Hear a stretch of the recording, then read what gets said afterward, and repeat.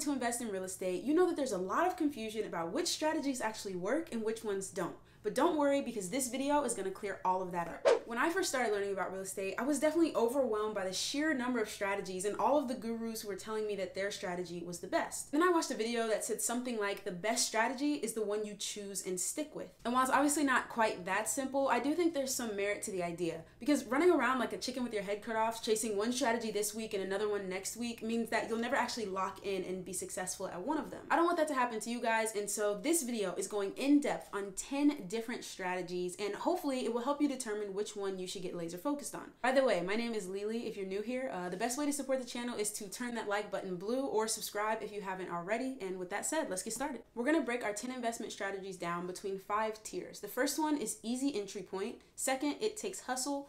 Third, we've got if you've got the money, go for it. Fourth is low risk, low return. And fifth is high risk, high return. With that said, let's head to the whiteboard and start breaking these down. We're gonna take a look at 10 different investing strategies, and in order to compare them, we're gonna use the same example property. So when we evaluate these deals, we're gonna talk about a $200,000 house at a 4% interest rate on a 30 year loan. We're also gonna assume that the property taxes are gonna be about $2,000 and the home insurance is gonna be about $1,000, and that we can rent this property out for $2,000 a month. These numbers may be lower or higher where you live, but I think it's a good idea for us to have a baseline, work with the same numbers from strategy to strategy so we can really get an honest comparison. The reason that I'm using $2,000 for rent for this $200,000 property is because of something called the 1% rule, which basically says that if your rent is 1% of your purchase price, you have a high likelihood of that being a good cash flowing deal. If you want to figure out what the rental amounts are in your area for a particular property, you can check out the website called Rentometer. I've got a link to it in the description. It's really easy to use. All you have to do is put in the address of the property you want to evaluate, the number of bedrooms and bathrooms, and it will do a search and figure out what the average rent for that property is in your area. We're going to start off with comparing the traditional strategy of just a buy and hold rental property with the all cash purchase. If you're purchasing a property as an investment, you're usually going to have to put down 20% as your down payment. And for a $200,000 house, that will be 40K. If you're purchasing a property all cash, that means you're putting down 100% as the down payment and you would therefore need 200K. Now, whether you have this amount of money in the bank or not, it's a good idea to understand the ins and outs of each of these strategies. So stick with me. Remember, we're assuming that this house can rent out for $2,000. And so that's going to be the same between both of these. But here's the first big difference. When you put down 20%, that means that you're taking out a loan for 80%. And with our assumptions about the interest rate, the home insurance, property taxes, this payment is going to be around 1000 and $13 a month. But if you're putting down 100%, that means you don't have any loans. All you have to pay is your property taxes and your insurance, and our estimates would say that that's going to be about $250 a month. So that's a huge difference. That means that this property here, you're going to have $987, whereas the all cash rental is going to be able to keep 1,750. Something that we have to remember is you should always be setting aside extra money every single month. And so for both of these properties, we're going to set aside $400. That means this traditional rental is going to cash flow $587 a month, while this all cash rental is going to cash flow $1,350 a month. Is a really big difference. But while it may look like the all cash rental is obviously winning, there is one really, really big thing that we have to consider between these two strategies, and that's the return on investment. You calculate that by taking your monthly cash flow and multiplying it by 12. So for this property, you would get 7,000 $44 a year. And when you do the same thing over here, multiply this 1350 by 12, you're going to get $16,200 a year. To calculate your return, you're going to divide that by the amount of money that you put in, your initial investment. And I understand there's going to be closing costs and all other types of fees, but for simplicity's sake, we're going to say this one you put in 40K, and this property you put in the full 200K. Now, here's where things get really, really interesting because the return on investment for this traditional rental property is 17.6%.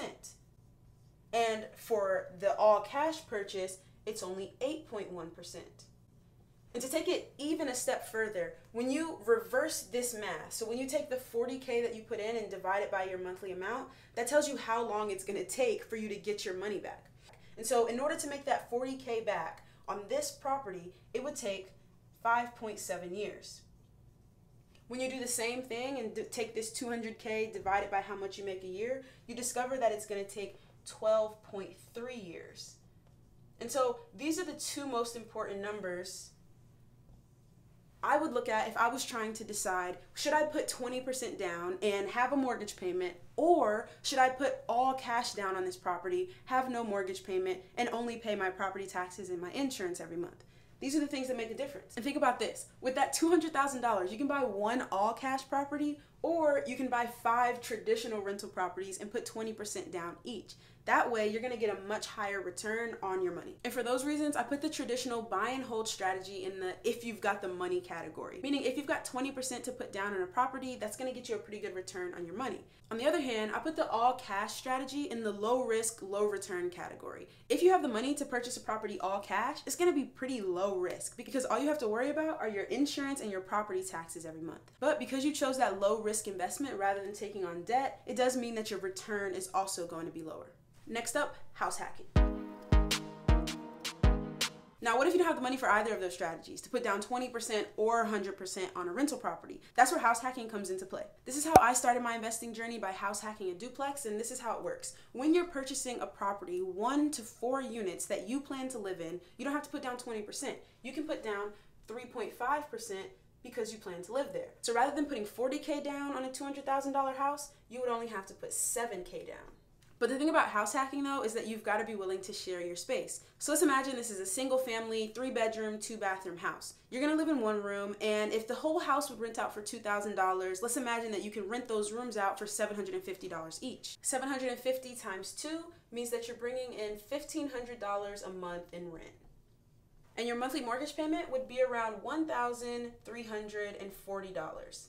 And you can see it's much higher on the house hack than it was on the traditional rental because you only put down 3.5%.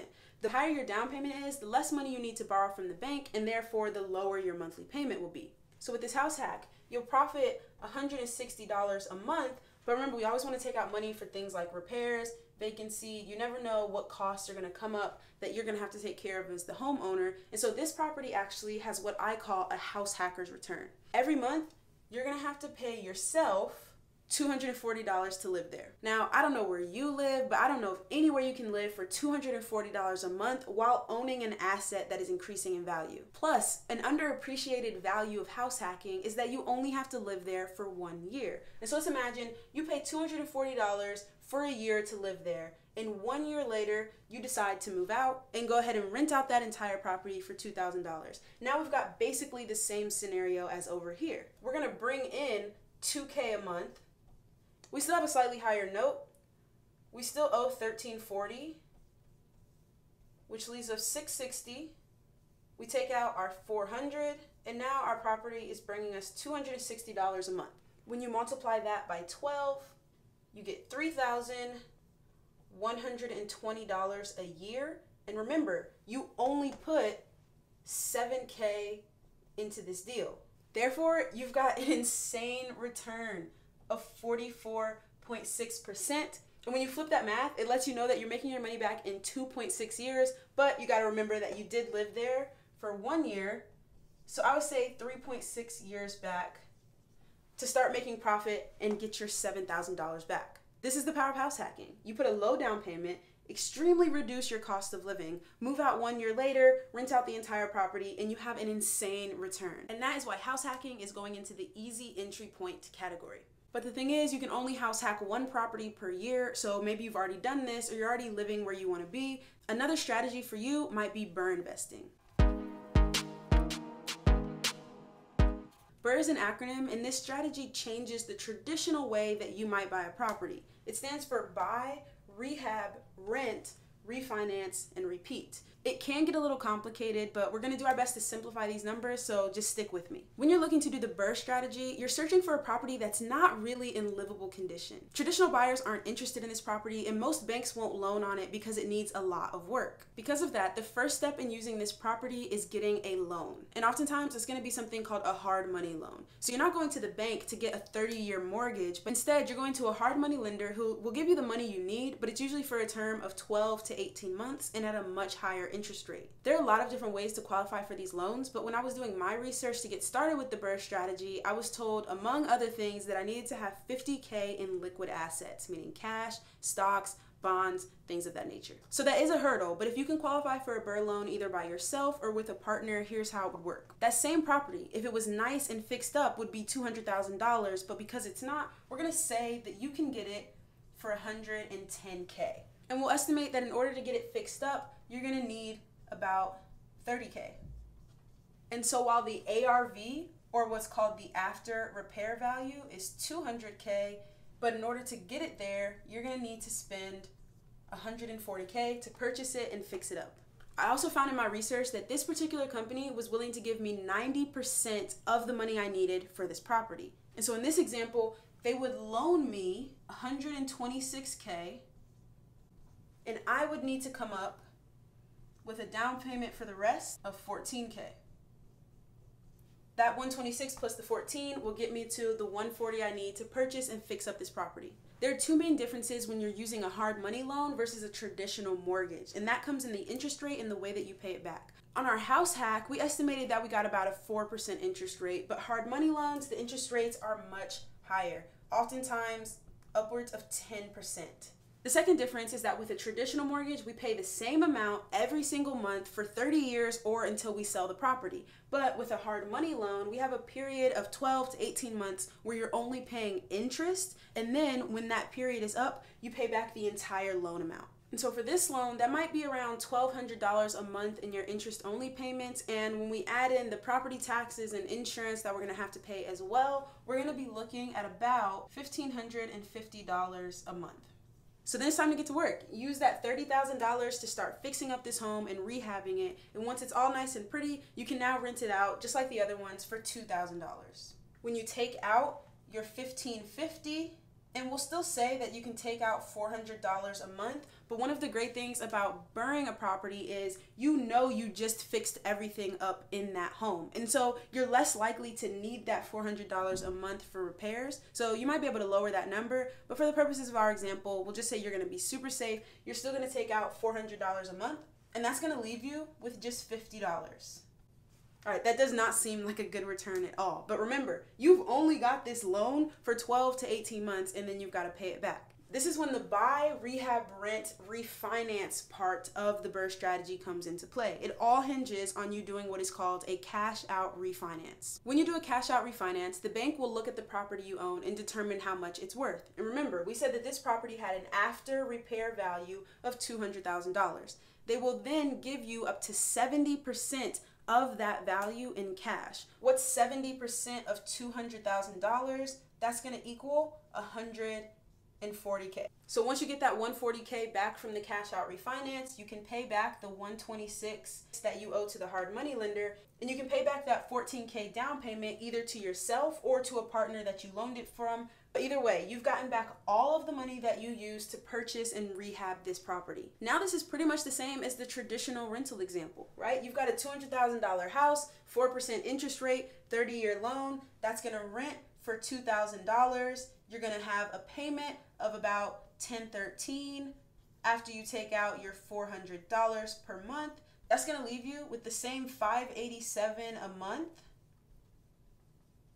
or 744 a year but here's the kicker.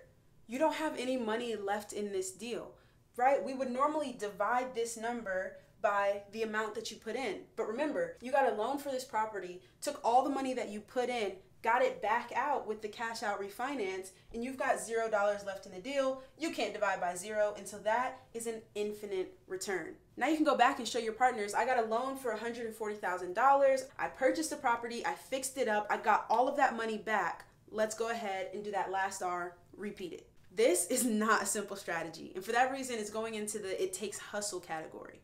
You've got to be able to convince a hard money lender to lend you this money, find a property that it will work with, correctly estimate the after repair value, go through the process of getting the cash out refinance.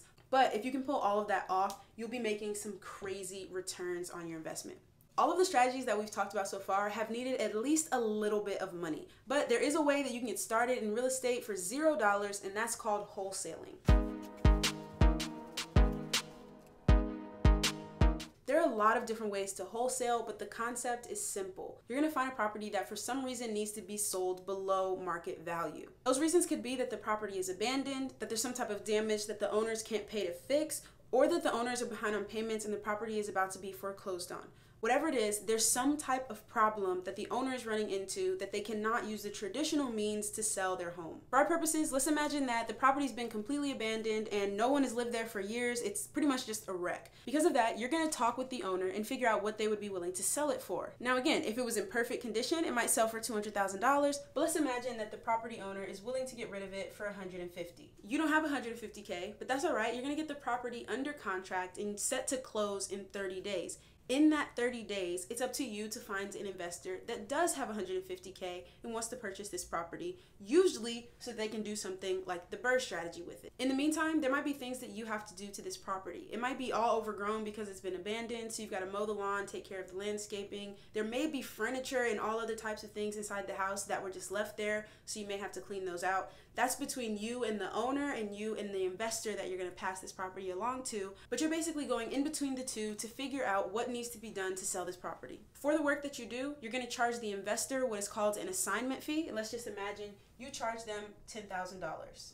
So the owner gets 150K, you get 10K, and the investor purchases the property for 160K. So basically, you were the middleman between the owner and the investor in this deal, doing whatever work needed to be done to make it happen, and for that work, you got an assignment fee. You may not need money to wholesale, but I'm gonna put it in the it takes hustle category because it does take a lot of work for you to find property owners, figure out what they're willing to sell their property for, find investors, and get everybody to be okay with your assignment fee in the middle. Our next investment strategy is something that we've all seen on HGTV fix and flipping.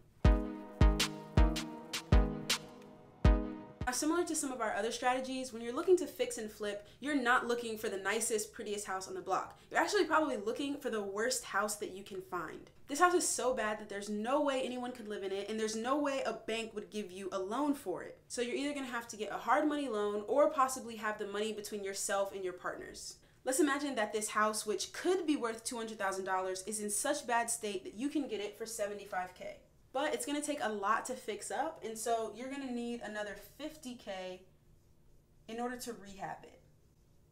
That's your purchase. This means you need $125,000 in cash or in the form of a hard money loan in order to make this work. But once it's all said and done, this house is fixed up, you're not gonna rent it out, you're then gonna sell it for the full $200,000. Depending how quickly you can fix up this property and get it sold, that could be a pretty quick $75,000 profit but there are two big downsides to fixing and flipping. The first is that there's high risk on depending that this home will sell for $200,000 you never know when the market is going to crash and when housing prices are going to tank. And if you get caught during one of those downturns, you could spend 125 to fix up this property, but then possibly not even be able to sell it for that much depending on how much the market goes down. The second big risk for house flipping comes in the form of taxes. When you buy a property, fix it up and sell it like this, you're subject to taxes that can be anywhere from 10 to 37%, so you're not getting that full $75,000. Because of that, fix and flipping goes in the high risk, high return category. But there is another lower risk way to flip a house, and it's called the live in flip. This strategy is where you find a house that isn't really the nicest, but it's definitely in livable condition. Maybe it's just really outdated with like paint and cabinets from the 80s or something like that, but you can definitely live there. And while you live there, you're gonna flip the house. This strategy works best for people who are willing to DIY and do a lot of the work themselves rather than paying for contractors. So if we imagine that house that would be worth $200,000 if it was fixed up and nice, but it's really outdated, so let's say you pick it up for 150. If you plan on living there, you can put 3.5% down, which is gonna be just $5,250. That would put your monthly payment at around $1,065. That's your PITI, principal, interest, taxes, and insurance. And we'll say that over the next two years while you live there, you're gonna spend $20,000 to fix it up. Once you've made it nice and beautiful, you're gonna go to sell it. But because it's been two years, hopefully the property has appreciated from that $200,000 and is now worth 225K. So when you sell it, you've got to pay back the loan that you got for 150K to purchase it, as well as recoup the money you used to rehab it and your down payment, which would leave you to profit About $49,750. While there is the same risk as fix and flipping that the property won't appreciate, that risk is mitigated because you live in the house. You fixed it up yourself, you're comfortable there. If the market crashes, you don't have to sell. You can just stay where you are and continue making your monthly payment. But if the market does go up, that's the time when you can sell and collect this money. The other really big benefit that's different from fix and flipping is that when you live in a house for two of the last five years, you do not have to pay capital gains taxes. If you're a single person and you sell that house for anything less than 250, and if you're a couple and you sell the house for anything less than 500, all of the profit is yours. You don't have to pay taxes on it. Because of that, we're putting live-in flips in the easy entry point category. Next up, we've got another strategy that is great if you're not swimming in cash. There are a lot of ways to invest in mobile homes, including buying entire mobile home parks. But for this video, we're going to talk about buying individual mobile homes. I recently watched an interview on the Trailer Cash Academy YouTube page of this woman named Holly. Holly was looking to purchase her first mobile home, fix it up, and basically flip it. After doing her research, she was able to find a man who was looking to get rid of an old mobile home that he had. It was not in the best shape, and he was behind on the lot rent by $775. While Holly was talking with him, he told her that if she took the mobile home off of his hands, paid the lot rent, and he could just be done with it, he would give it to her for free. And so obviously Holly said yes. She paid $775 to the mobile home park so that the mobile home could stay where it was. And then she paid about another $200 in materials and fixed up the mobile home as well as she could herself. Once those things were taken care of, she started advertising the home for sale and was able to sell it for $5,000. So Holly made just over $4,025 by solving a problem for the owner, paying the lot rent, taking it off his hands, and then going ahead, doing what she could, purchasing the materials for just $200, fixing it up as well as she could herself, and then putting it on the market. While it did take a little bit of work, that is a nice return and it goes into the it takes hustle category. Next up, we're gonna look at two related strategies furnishing your long term rentals or using them for short term, like on Airbnb. Let's think back to our house hacking example where we were renting out two bedrooms in our house for $750 each. Now let's imagine that you furnish those rooms with beds and other furniture, everything that somebody would need to live there. They may be willing to pay more, and so let's say you can rent out both of those rooms for $850 each. That would mean you're bringing in $1,700 and in that house hacking example, we said that our monthly payment was around $1,340. That means we make 360 a month before we take out our 400 for vacancy and repairs, and therefore we're coming out of pocket every month $40. Now remember, when we didn't have those rooms furnished, we were coming out of pocket every month $240. And regardless what the numbers are on your own deal, maybe investing in some furniture up front in order to get a higher rental rate would make it so that you have to come out of pocket less or even can break even and get some cash flow. So while it does cost a little more to invest in the furniture as well as the down payment to get the property, I think this is still a really good strategy and it's going to go in the it takes hustle category. Now, let's talk about Airbnb arbitrage. This is a kind of controversial strategy that some people have done really, really well with, or some people have done really, really, really badly with. The idea is that you don't need to actually go out and buy a property in order to do this. You look for local properties that are already for rent, call up the landlord, and ask if you can furnish the property and put it on Airbnb. You tell them that you'll pay whatever they're asking for rent and you'll take care of all of the Airbnb guests, repair any damages, etc. It may sound pretty far fetched, but I spent an entire afternoon calling up landlords and seeing what they would think about this, and about 50% of them said yes. The idea is that while they might be charging $2,000 in rent, we know that Airbnb, when it goes well, can be pretty profitable. So let's imagine you could make $4,000 a month on Airbnb. You're still gonna have to pay the utilities, and it's probably a good idea to still set aside money in case you have to fix anything. So we'll do that same $400. At the end of the day, you could be taking home upwards of like $1,600 in this example. But obviously, there's a big issue of not making enough money to cover the rent and the utility payments. If that happens, you could be coming out of pocket to pay that rent. And in the recent months, there have been a ton of stories of people who were doing this with upwards of 50, 60, 70 properties, just lost it all and owed landlords a ton of money. And so, like with any of these strategies, I'm not telling you whether you should or shouldn't do it. I'm just breaking down the numbers. But Airbnb arbitrage is definitely going in the high risk, high return category. So those were nine of our strategies, and they all involve to some extent being hands-on with a physical property. But the 10th one I want to give you guys the option for is something that is really hands-off. And these are real estate investment trusts or syndications. These two are similar to each other because they both involve a large group of investors who buy in in order to purchase properties that none of them would be able to buy on their own. We're talking hundreds of thousands, multi-million dollar properties. And when you pay in, these almost behave like stocks where you then own a certain percentage of the real estate that the company itself owns. The terms between these trusts and syndications differ, so make sure you read them closely, but basically at the end of the year, they're gonna pay you a certain percentage of the cash flow based on the percentage that you put into the deals. Just like investing in the stock market, investing in real estate trusts or syndications are super, super hands off. You're not gonna have day to day involvement with the decisions that are made in the property, and you pretty much sit back, hope that your asset raises in value, and collect the dividend that you get at the end of the year. And just like the stock market, the value of the real estate in the trust or the syndication could go up over time or go down. Although from 1975 to 2014, real estate trusts returned around 14%, while the S&P 500 returned about 12.5%. Because it's so hands off and really depends on how the housing market does as a whole, we're putting this one in the low risk, low return category. I've done other videos that go in depth into some of the strategies we've talked about today, and if you want to check them out, you can find them in this playlist right here. I post videos most Tuesdays, Fridays, and Sundays, and until next time, thanks for watching.